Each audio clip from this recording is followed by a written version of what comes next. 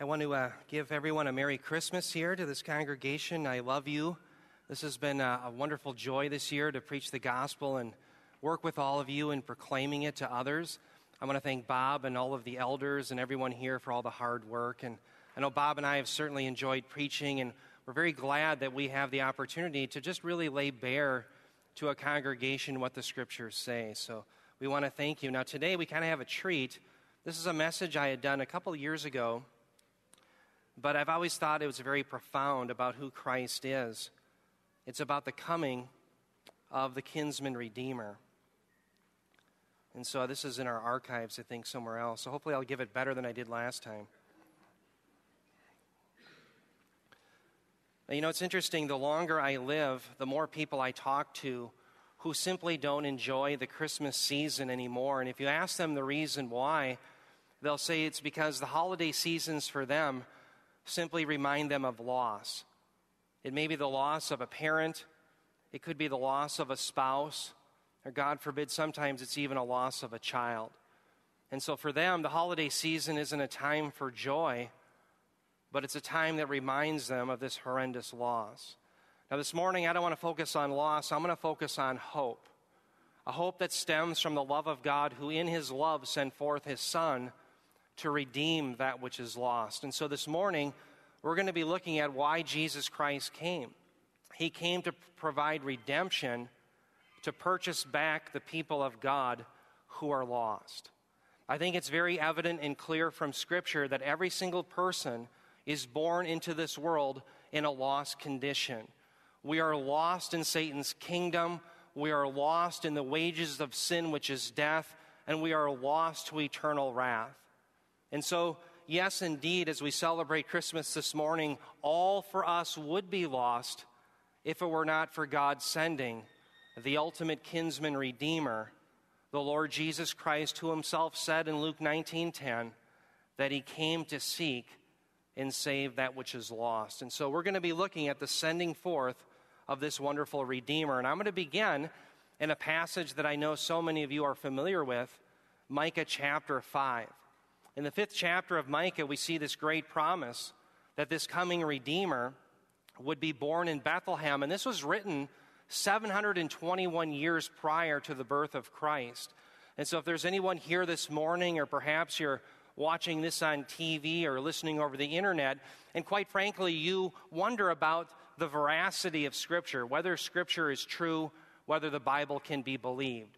One of the reasons you should believe the Bible that it's the Word of God, that God exists, the Bible is His Word, and Jesus is His Son, is because of predictive prophecies like the one we're going to be looking at today.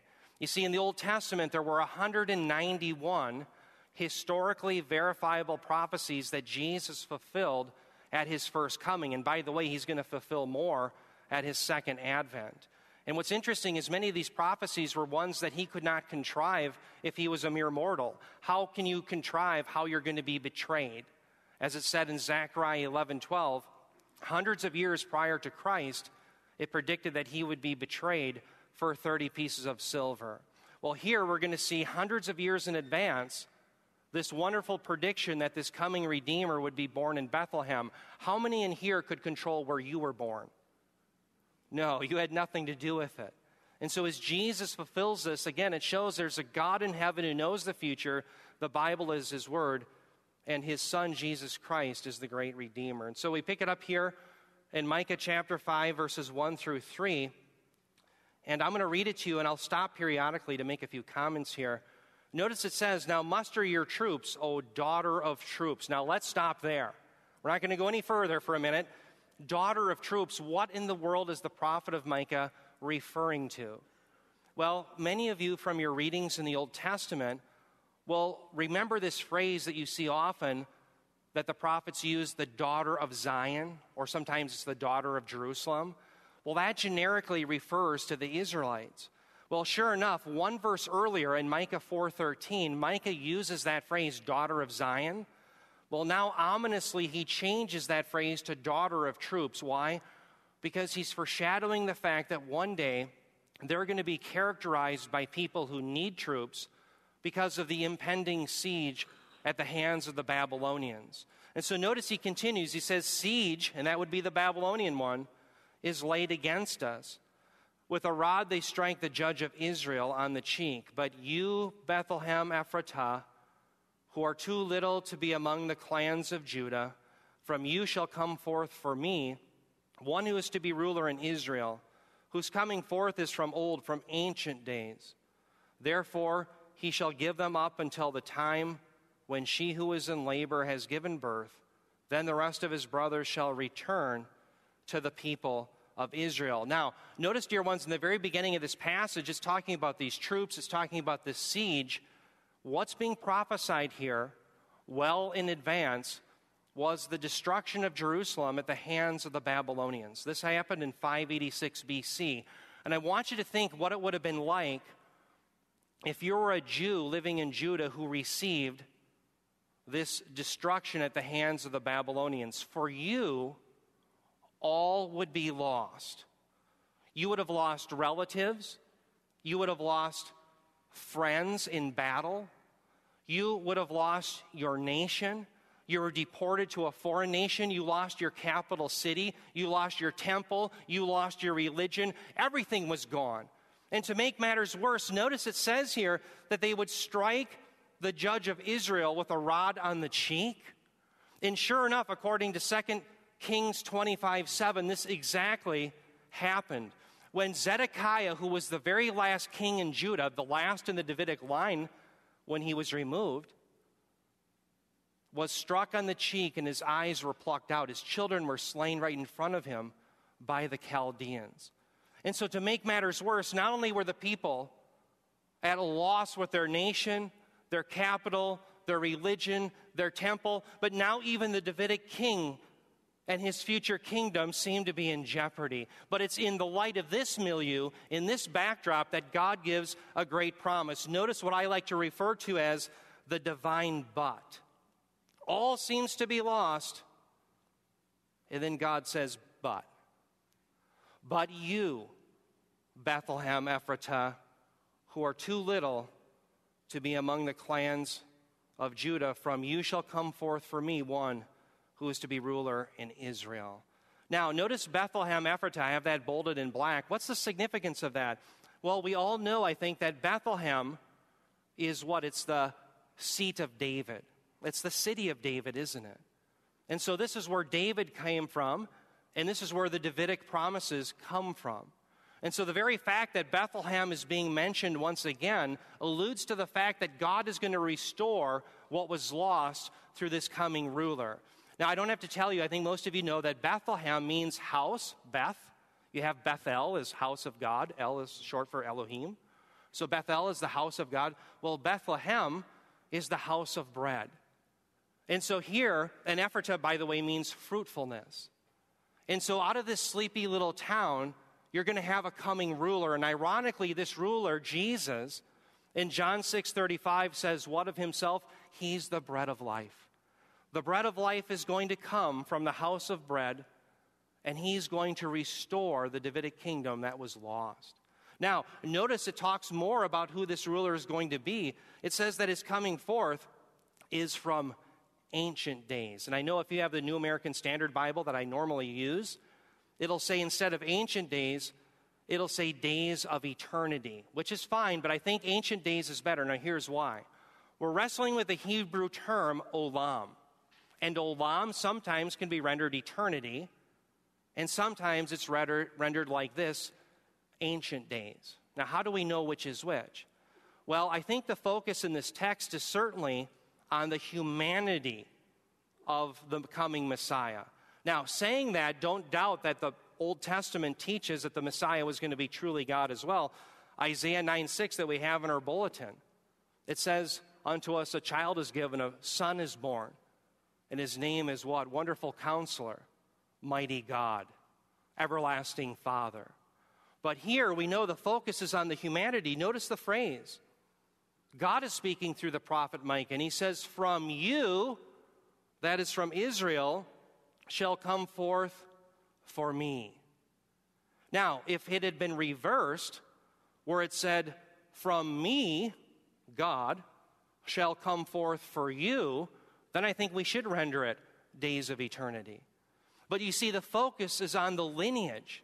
Where is this Messiah going to come from? He's going to come from the lineage from Bethlehem, from David. It's that idea.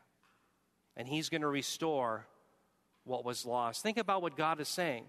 In the midst of all that was lost from this sleepy little unassuming town, God was going to bring up a ruler who fulfilled the promises from ancient days. What promises? We'll go all the way back to Genesis 49:10. It was prophesied that the Messiah was going to come from Judah. We see in 2 Samuel 7 of all the families of Judah, he's going to come from the lineage of David. And so now here it's being announced once again in the midst of all of that loss. And what is the result of the ministry of this coming Redeemer? Well, there's a lot of other data, but skip down to what's in red. Notice he's going, it says, then the rest of his brothers, that's the ruler's brother, this Redeemer, shall return to the people of Israel. Notice here the phrase, the people of Israel, that stands here to refer to the believing remnant. And so when it says that the rest of his brothers shall return, that's the rest of God's people the brothers of Christ who belong to the believing remnant. Notice the phrase shall return. The term in Hebrew is yashuv. It can mean to be restored. I always think of Douglas MacArthur. Remember in 1942, the American forces were kicked off Corregidor? It's a bitter time in American history. All seems to be lost for the people of the Philippines, for the United States military. And what does Douglas MacArthur say? I shall return. That's what God is saying. No matter how bad it looks, no matter how empty your life is, you're carried off to Babylon, you've lost all hope, God is going to return all of the promises through this coming Redeemer, through the lineage of David. Brothers and sisters, God is going to bring a Redeemer to restore all that which is lost. Now, what I want you to do is turn your Bibles, if you will, ahead to the book of Ruth, or I should say back to the book of Ruth. In the book of Ruth, I want to have you turn there because I want to start showing you that there was a foreshadowing of this coming kinsman redeemer that occurred some 500 years earlier, around the time of the judges. So, what I'm going to show you is that God had already shown an example of what a kinsman redeemer looked like, and that, of course, is the man named Boaz. Boaz is in the lineage of Christ, according to Matthew chapter 1, but he also foreshadows the coming of this great Redeemer, Jesus Christ, by being a lesser Redeemer. A lesser Redeemer who also restores all that was lost for a particular family, namely Naomi and Ruth. So turn your Bibles again to the book of Ruth. I'll be bringing you through this, and you're going to see how Boaz was a wonderful foreshadowing of the ultimate kinsman redeemer. Now, when we look at the book of Ruth, let me set the stage. This occurs around the time of the judges, 1250 BC. And the main characters of the story, when you open up to the book of Ruth, are Naomi and her two daughters in law, Orpah, not Oprah. I thought it was Oprah at first when I first read it. It's Orpah. And then you also have Ruth. Now, here's the, the situation Naomi is a Jew. Her two daughter in laws they are Moabite women, they're Gentiles. Well, they had gone down to Moab to escape a famine, apparently, and they'd lived there for some time. Well, at some time in their lives, while they're living in Moab, Naomi and both the daughters lose their husbands. So all three husbands die. We don't, we're not told how. But what would that do? Well, it would leave all of the women destitute. If you lived in those days, you didn't just go get a part time job at the Gap to make up for lost income. This was heavy physical manual labor. And so Naomi, realizing the predicament they are, they're in, she gives permission to her daughters in law to return back to Moab to start their lives over. And Orpah takes her up on that, but not so with Ruth. Ruth demonstrates great faith, not only covenant loyalty to her mother in law, Naomi, but great faith in the God of Israel that he would provide for her. And we see that then in the beginning, Ruth 1:16. Now again, Naomi has just said, "You can go, my daughter, go back, start your life over." But Ruth said, "Do not urge me to leave you or to turn back from following you. From where you go, I will go, and where you lodge, I will lodge. Your people shall be my people, and your God my God. There is a de- great declaration of faith.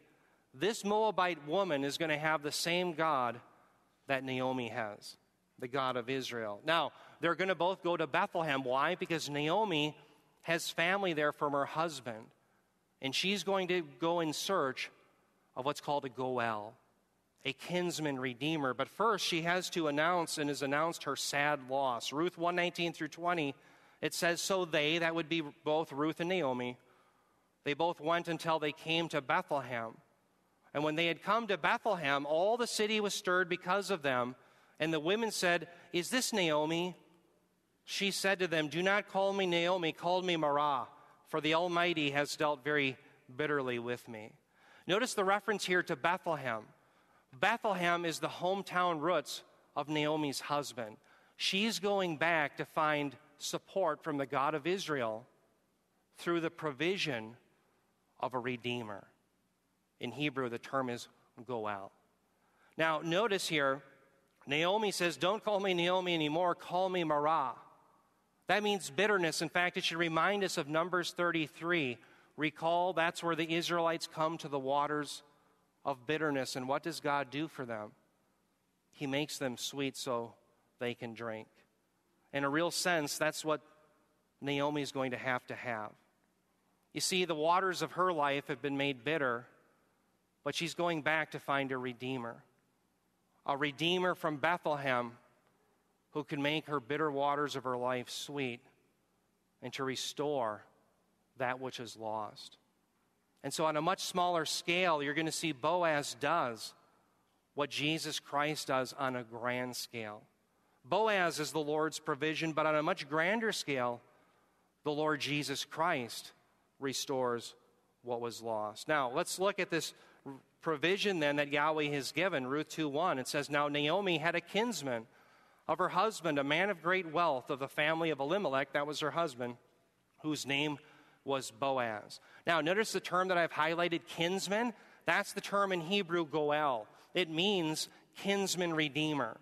And basically, and I'll get into more data on what a kinsman redeemer had to do, but they had to restore both property and the family name. That was their function, and it was commanded by God in passages like Leviticus 25 and Deuteronomy chapter 25. Okay, now we'll come to that later, but realize he's a Goel, he's a redeemer. And who is he? Well, his name is Boaz. Now, to make a long story short, Ruth finds out, now remember, remember she's the younger Gentile daughter in law, and she finds out that this Boaz is a redeemer. And so, what she does is she goes to his field and she starts to be attracted to this fellow. He's a man of substance, and she sees in him great character. Now, she goes to his field and she starts gleaning. Now, what in the world is gleaning? Well, according to Leviticus 19:10, God had commanded that the Israelites could never, if they had a field, harvest the whole thing.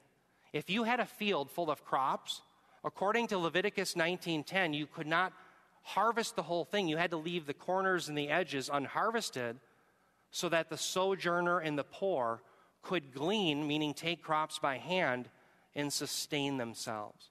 So, this is provision from God.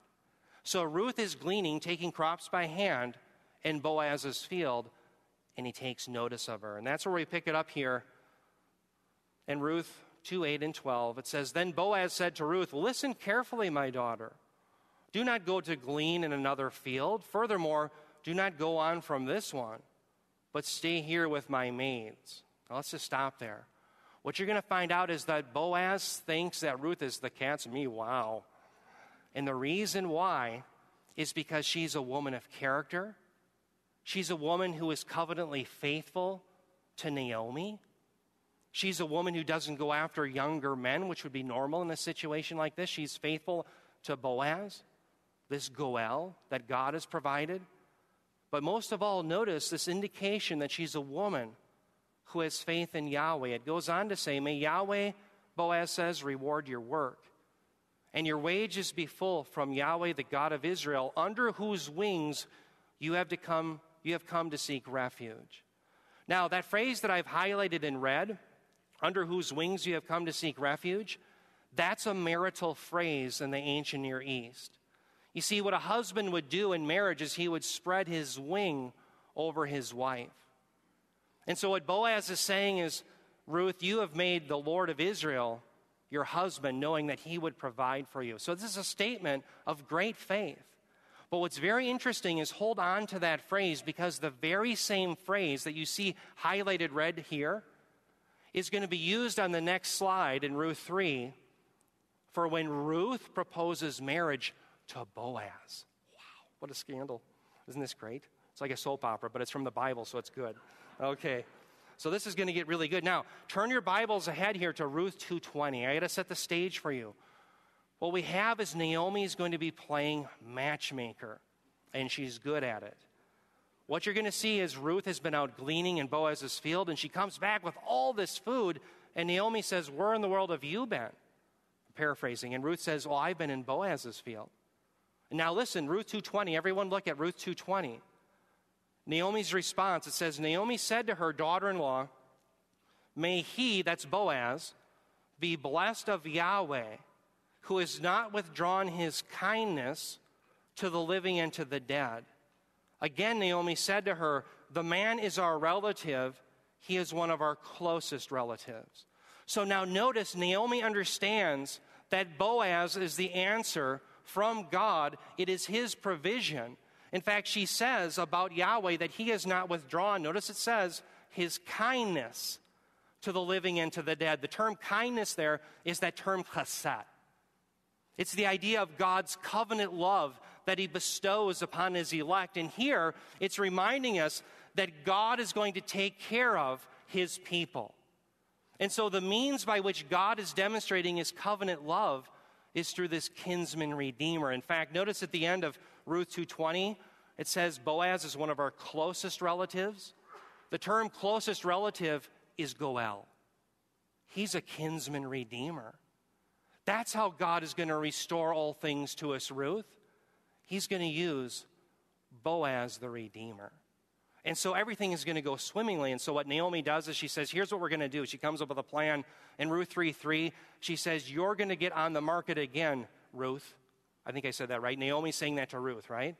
So Ruth has to do three things. She has to take a bath, she has to get perfume on, and a new dress. And the idea is she is on the market, no longer is she in mourning. And then Naomi comes up with a real doozy. She says, Boaz is going to be very tired. He's working in his field. He'll have a heavy meal. What you're going to do is you're going to lay next to him by his feet so that he takes further notice of you. And so Ruth does that. Ruth does everything that Naomi says. And when Boaz has finished a heavy meal after working hard during harvest time on the ground of his th- threshing floor, she lays at Boaz's feet in the dark.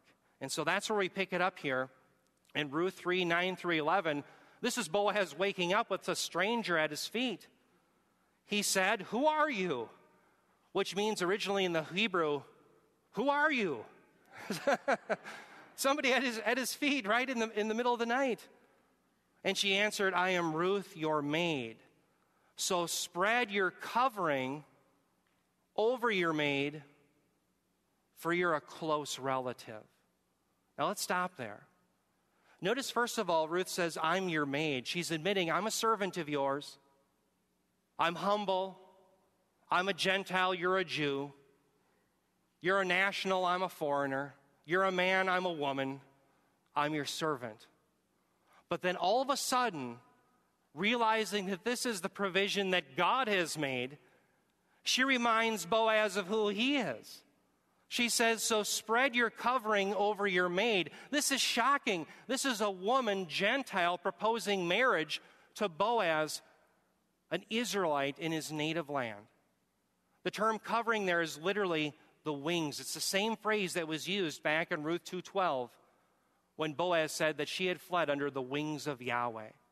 You see, Yahweh was like a husband, but now she says, I want a husband in the flesh. You marry me, Boaz. Spread your wings over me. And then she says the coup de grace. She reminds him of who he is, for you are a Goel. You're a kinsman redeemer. That's who you are, Boaz. Now, what's Boaz's response to this? He's absolutely elated. It says, Then he said, May you be blessed of Yahweh, my daughter. You have shown your last kindness to be better than the first by not going after young men, whether poor or rich. Now, my daughter, do not fear. I will do for you whatever you ask, for all my people in the city know that you are a woman of excellence. Notice Boaz says, You're a, Your last kindness is better than the first. The term kindness there again is chesed. And what he's simply pointing out is that her loyalty is even seen to be greater now because she doesn't go after younger men, although she could. She remains faithful to Naomi. She's faithful to the God of Israel, so much so that even the whole town notices this, and they all know that, yes, she's a woman of excellence. He is absolutely smitten with her. Now, here's the fly in the ointment. They're going to get married. Everything is said. He's going to be a Goel and function his duty. But in the narrative, here's the fly in the ointment. There's one man who's closer as a relative, he's a closer Goel. So what happens is Boaz is a man of God's word. He says, I'll resolve this issue, Ruth. I'm going to take the matter up at the city gate, and if he declines to be your Goel, I'll be the one. And sure enough, that morning, I think it's the next morning, Boaz goes to the city gate where oftentimes business was done, and he approaches the next in kin, that one that was closer to Naomi, this other Goel, and he says, Will you redeem them? And the man said, No, that will jeopardize my inheritance. And so the wonderful news is they get married. Boaz functions as a husband and as God's redeemer. He marries Ruth. Ruth 4:13 through 17. It says so Boaz took Ruth and she became his wife. And he went into her and Yahweh enabled her to conceive and she gave birth to a son. Now let's stop there. How many times is it wonderful news in the scriptures when it says unto us, a son is born? It's wonderful. Whether it be Isaac or whether it be Christ or here, we have Obed. A son is born. It says, Then the women, this is the women of Bethlehem, they said to Naomi, Blessed is Yahweh who has not left you without a redeemer today, and may his name become famous in Israel. Then Naomi took the child and laid him up in her lap and became his nurse. Think about that. All seemed to be lost for Naomi. But because of God's Redeemer, he's restoring all that which is lost. The Namer women gave him a name, saying, A son has been born to Naomi. So they named him Obed. He is the father of Jesse, the father of David. Brothers and sisters, let's ask the question where did this Redeemer come from? Or Maybe a better way of asking is who provided him? Yahweh did. The women of Bethlehem say, Blessed be Yahweh. He has provided a redeemer, a Goel. And so the redemption comes ultimately from God, who sends a redeemer to restore all that which is lost. And to make matters even better, notice it says he is the father of Jesse, the father of David. That means Boaz and Ruth are the grandparents of King David, the great grandparents from whom the ultimate Redeemer will come, the Lord Jesus Christ. The ultimate Redeemer will come from the lineage of Boaz, this preliminary Redeemer. And he's going to restore not just a family name, but salvation for the people of God. And so I want you to see the connection between the lesser and the greater Redeemer, the lesser being Boaz, foreshadowing the coming of the greater Jesus Christ. Boaz the great grandfather of David, think about it. He redeems a Jew named Naomi and a Gentile named Ruth. And then, sure enough, 1200 some years later, the ultimate Redeemer comes, the Lord Jesus Christ, a descendant of David and therefore from Boaz. And he also redeems Jews and Gentiles, all who will come to him by faith. Now, I want to talk about who a Goel was. And I want to talk about who could be a Goel. So if you're taking notes, now is the time to really get at it because I want to lay out the four criteria that you had to meet in order to be a redeemer in Israel. All of these things are commanded in the Pentateuch. The first thing that you had to be to meet the criteria of being a Goel, a redeemer, is that you had to be related by blood, according to Deuteronomy 25. Now, certainly Boaz was. We see that in the narrative. But how does Jesus Christ fulfill this criteria of being a Goel? Well, think about John 1:14. That the word, the eternal word, became flesh and he tabernacled among us. That is, the eternal God became a man. And he becomes a man to be our relative because he has to be the new Adam. Our first Adam gets, in us, gets us all in a ton of trouble.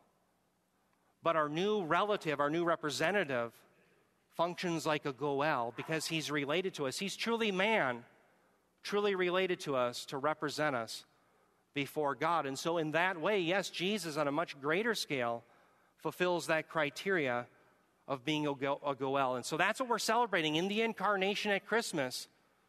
God, in a sense, becomes related to us by becoming a little boy in a manger, becoming a man. Now, the second criteria is that you had to be able to pay the redemption fee. In other words, you had to be wealthy enough. Now, we know according to Ruth 2:1, Boaz was certainly wealthy enough to pay the redemption fee. But how does Jesus Christ fulfill this criteria? Well, it says in 1 Peter 1:18 through 19 that when he paid the redemption fee, it wasn't through the precious stones of silver and gold, but through the shedding of the precious blood as of an unblemished lamb. Jesus was able to fulfill that because by the shedding of his blood, he had the riches to pay our redemption fee. So, again, on a great scale, grand scale, Jesus fulfills that criteria to be the Goel. Now, the third one is you had to be willing to redeem. It wasn't enough that you were related, that you had the money to redeem but you also had to be willing to redeem. Remember that other closer Goel refused? Well, Boaz didn't. He was willing to redeem. What about the Lord Jesus Christ? Is he willing to redeem? John 10 18, Jesus says, No one takes my life from me, but I lay it down on my what? My own initiative. You see, Jesus Christ is a willing Goel. He's a willing redeemer who's willing to lay his life down for you and me. He fulfills this criteria of the Goel. He's a great redeemer, all from the lineage of Boaz. Now, the final thing, the fourth criteria that you had to meet to be a Goel is that you had to be free of debt yourself. If you were in debt, you couldn't redeem someone else. Boaz obviously was without debt. He was a wealthy man. But what about the Lord Jesus Christ? Ultimately, is he not the one without debt? 2 Corinthians 5:21 says that God the Father made him Jesus who knew no sin there was no debt that he had to pay to become sin on our behalf so that we might become the righteousness of God in him. Because Jesus was the one ultimately without a debt to be paid, he could be a Goel and pay ours. Jesus Christ fulfills all of that. And that's why we see in the Old Testament this idea that there is a Redeemer in Israel. Isaiah 44 6, it says, Thus Yahweh, the King of Israel, and his Redeemer the Lord of hosts, I am the first and I am the last, and there's no God besides me. We see that the Redeemer ultimately is always the God of Israel. Notice in this text here, it says that not only is Yahweh the King of Israel, but he's also what? He's Israel's Redeemer. Both the King that demands the payment, also the Redeemer who pays the payment. All in one person, the God of Israel. This shows that Jesus is Yahweh. Notice it says, I am the first and I am the last. Four times in the book of Revelation, that phrase is used of Jesus Christ. Jesus is the great Goel, He is the Redeemer. Now, let's go back to the Old Testament. We have to find out what was to be redeemed according to the law of Moses. Because then you're going to see that, yes, Jesus does all of these things, He redeems us. Now, to be fair, as I show you these different things that were commanded that had to be redeemed in the Old Testament, only two of them required a Goel. The first one applied to every Israelite, and that is the redemption of the firstborn. So God commanded of three things that had to be redeemed, the firstborn was one of them. Why? Well, he explains various places, but notice in Exodus 34 20, he says, You shall redeem all the firstborn of your sons. So the firstborn, remember, God considers Israel to be his firstborn. What's the rub in the book of Exodus? Well, Egypt wants to wipe them out. So God does a reversal. Now remember, the firstborn is the one who has the inheritance rights. I'm going to be talking about this next week in another message. So the one who has the rights to the inheritance of Yahweh is going to be wiped out by the Egyptians.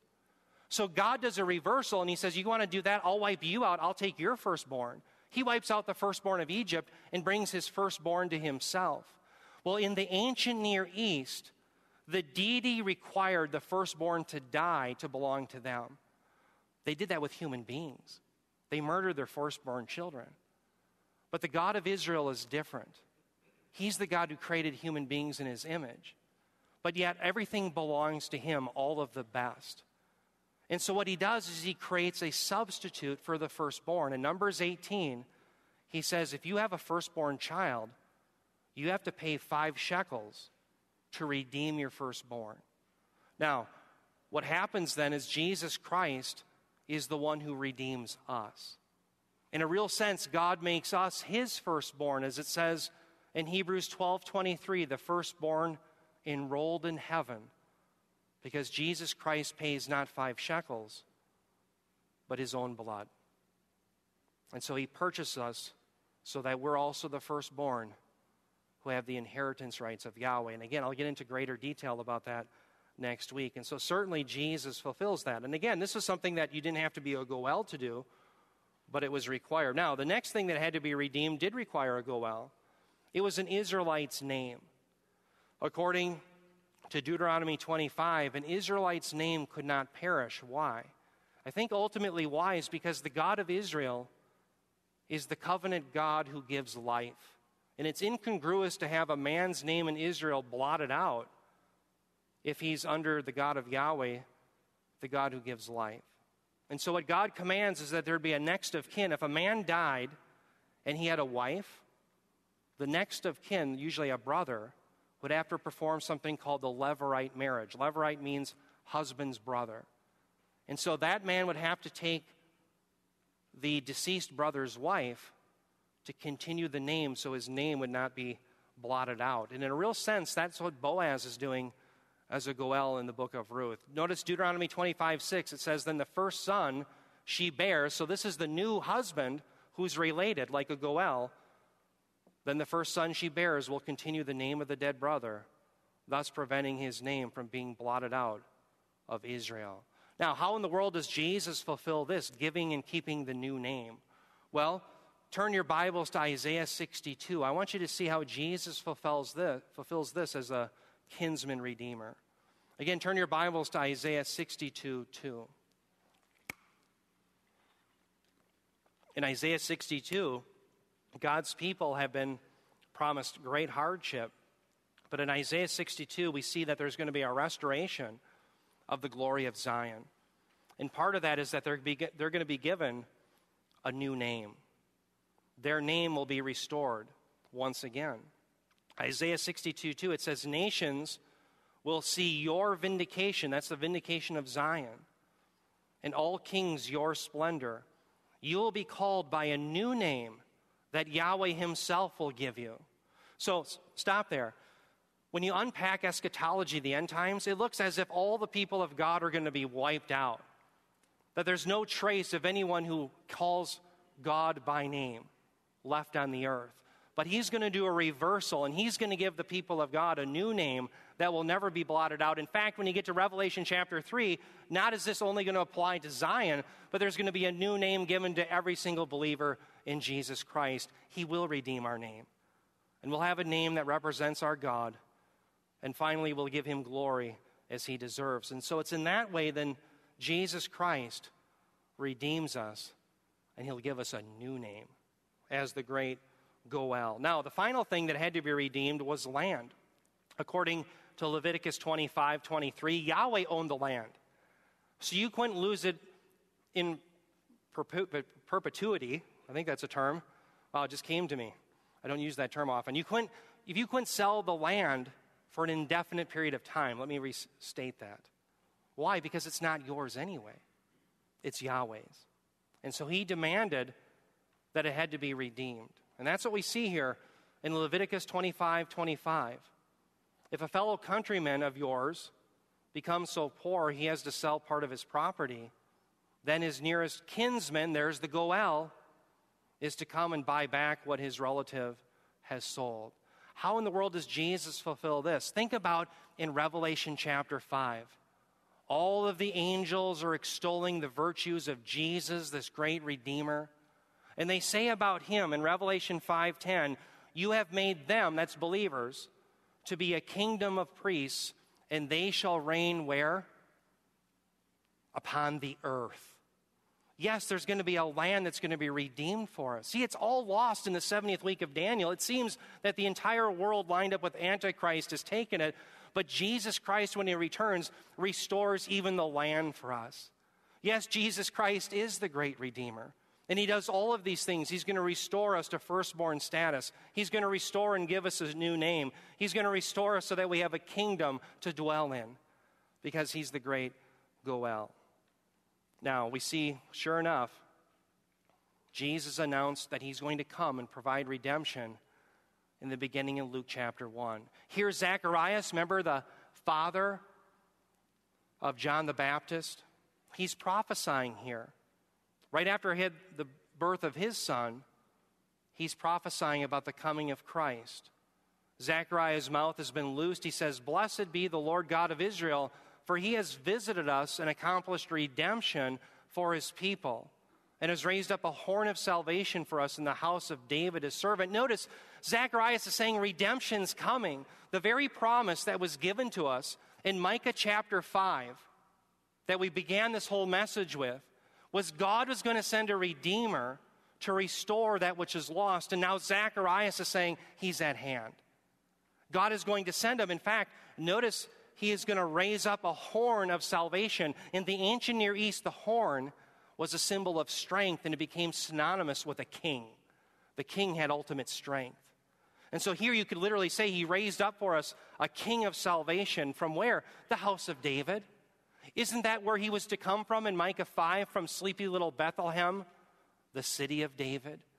So all of the promises that we see in Micah 5 are now being fulfilled right here. And this Jesus Christ is going to purchase God's people back, not with five shekels of silver, but with his own blood. So says Peter to the people of God. He says in 1 Peter 1 18 through 19, and you were redeemed, released literally, with perishable things. You were not redeemed with perishable things like silver or gold from your futile way of life, inherited from your forefathers, but with precious blood, as of unblemished lamb and spotless, the blood of Christ. Dear ones, let me ask the question when Jesus pays the ransom fee when he dies on the cross, to whom does he pay the fee? You see, for years in church history, there was what's called the ransom theory of the atonement. And we had Christians who were getting it wrong. They say, oh, the payment's paid to Satan. You see that same thing today in the circles that are part of the Word of Faith movement. They'll say, yes, there has to be a payment paid. Jesus pays it to Satan. No, the payment isn't paid to Satan, the payment is paid to God. Jesus is the one who demands justice, but he, as God, is also the one who humbles himself and becomes a man, a Goel, and pays the debt. That's what Jesus Christ does for us, the great Goel. Now, why do we need redemption? Well, again, we're all sinners, incompatible with a holy and righteous God. So says the writer in Psalm 5 4 through 5. He says, Certainly you are not a God who approves of evil. Evil people cannot dwell with you. Arrogant people cannot stand in your presence. You hate all who behave wickedly. Here we see in Psalm 5 4 through 5 that the issue is we as sinners are incompatible to be in the presence of a holy God. But we also see in Isaiah 59 that God is angry with our sin and it creates separation. He says, But your iniquities have made a separation between you and your God, and your sins have hidden his face from you so that he does not hear. Remember a few weeks ago, we were talking about in the ancient Near East, if you had the monarch's face, if he lifted up your face, it meant that you had his favor. Well, notice in this text it says that the sins have made Yahweh hide his face from us. So we don't have favor with the monarch. The ultimate king, because of our sins, we don't have favor with him. In fact, notice it's created a separation. That's what death is. The wages of sin is death death in the Bible is not annihilation. It's not that you cease to exist. Death in the Bible is separation. The first death is separation of body and soul. When a person dies, if they're an unbeliever, their body goes into the ground, their soul goes into Hades in torment, waiting ultimate torment in the lake of fire. Now, for a believer, it's wonderful news because when they die, their body goes into the ground, but their soul goes to be with the Lord. That's the first death. The second death is even worse because that separation again from God, not just for a little while, but eternally in the lake of fire, according to Revelation 20:15. Death is separation. Separation ultimately from God and the blessings of his face. Now, that's why Jesus Christ came. He came to purchase us who were separated from God. And so Jesus paid the price. We're going to get into great detail when we come to this in our studies in Romans. Romans 3:23 through 25, he says, "For all have sinned and fall short of the glory of God, being justified as a gift by his grace through the redemption which is in Christ Jesus, whom God displayed publicly as a propitiation in his blood through faith." Notice the term redemption there. Apolutrosis is the term. And it means to be released from something through a payment paid. So the idea is Jesus Christ pays the payment, and then you and I are released. Released from what? We're released from sin, released from death, released from the bondage of Satan and going to hell. That's what we're released from. All because of Jesus Christ, the great Redeemer. Now, how does he do that? Well, he dies. And on the cross, he becomes a propitiation. The term here, propitiation, links us back to Leviticus 16 in the mercy seat. To make it quite clear, propitiation has to do with Jesus Christ being a substitute on the cross so that as he dies, he takes upon himself the full measure of God's wrath that you and I deserve to be punished with, so that God is appeased. So propitiation is God centered. God demands a just payment paid. Jesus is the one who pays it and satisfies God for those who believe. That's what propitiation is. We see the same idea in Galatians 3:13. By the way, I had a typo in your notes. It's not Galatians 3:23. It should be 3:13. Galatians 3:13 Christ redeemed us from the curse of the law by becoming a curse for us. For it is written, cursed is everyone who is hanged on a tree. Notice this term redeemed is a verb ex agorazo. Agorazo, some of you can hear the term agora. The idea is that we've been purchased in the marketplace. You and I were in Satan's marketplace in bondage to sin, death, and hell. Jesus, the great Redeemer, purchased us from that marketplace. He chose us, decided to pay the redemption fee. How? Well, it says by becoming a curse for us. Notice the term for there, the preposition huper is often used with the idea of substitution. The idea is that he would be a substitute and do what we couldn't do on our behalf. He became a curse on our behalf. Jesus Christ paid the redemption fee. That's what he did on the cross for you and I. Now, what's the proof of this? Well, the proof is seen in the fact that Jesus was raised from the dead.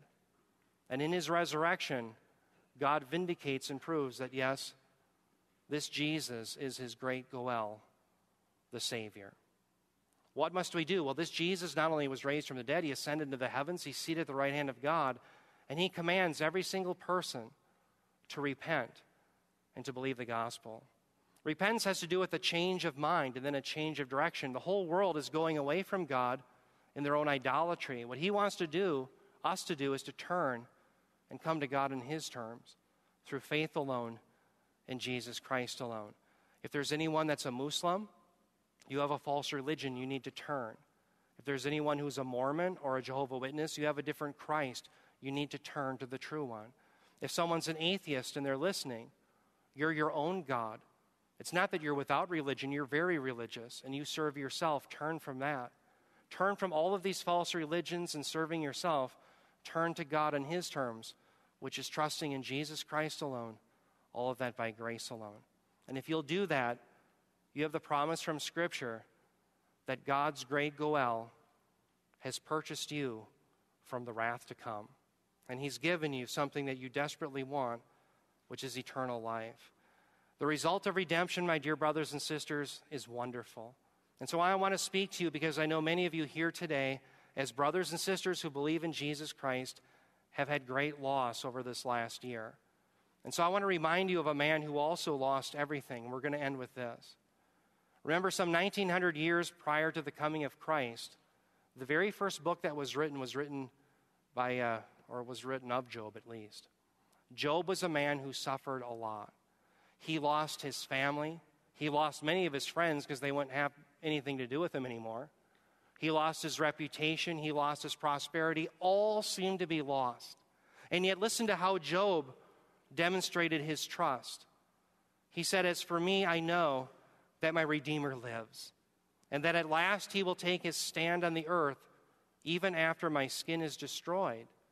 Yet from my flesh I shall see God. Yes, there was a day when Job thought all was lost his family, all of his livelihood. But notice where his trust is. One, it's in the resurrection. He says, Even after my skin is destroyed, yet from my flesh I shall see God. I think it's very possible that that's the first reference to the belief in the resurrection. But nonetheless, his faith is squarely on whom? It's on the Goel. It's on the Goel who lives. And the question for you as we celebrate Christmas is this baby boy your Goel? Is he your redeemer? Is he your kinsman redeemer? Because if he's not, then all is still lost. But if he is your Goel this Christmas, then there's nothing that's lost. All is redeemed. God will restore all things to you. It may not happen now, but when the king comes and the kingdom comes, he's going to restore for you all that was lost because he sent forth the ultimate kinsman redeemer, the Lord Jesus Christ. And I hope that's a comfort to all of you here who have suffered loss this Christmas season. Let's bow our heads in prayer. Heavenly Father, we thank you, Lord, that you've sent the great kinsman redeemer, the Lord Jesus Christ, who would be willing to lay down his life, who was able to lay down his life, and to make a way for us for salvation that he would pay the debt that we couldn't, to purchase us from the marketplace of Satan, and to deliver us into the kingdom of your beloved Son. We thank you, Lord. We long for the day that we get to sing your praises in eternity when your great Goel comes, when he comes again to bring us this great kingdom that he's promised in the restoration of all things. So, Heavenly Father, I pray for my brothers and sisters here, those especially who have had loss I pray, Lord, that this Christmas season they would trust in your Son, the great Goel. That they would know that there's a day that's coming when all would be restored. I also pray for our conversations at Christmas time with unbelieving relatives and friends. I pray, Heavenly Father, that we would show the healing that can be found in the God of Israel through the death and resurrection of your Son, Lord. I pray that we would have these conversations. You'd give us boldness to proclaim your gospel and that others would find redemption through your great kinsman redeemer, the Lord Jesus Christ. We pray this in Jesus' name. Amen. Well, please stand for the benediction. Oh, I'm sorry, you know what? We got a wonderful song. I'm sorry I even knew about that.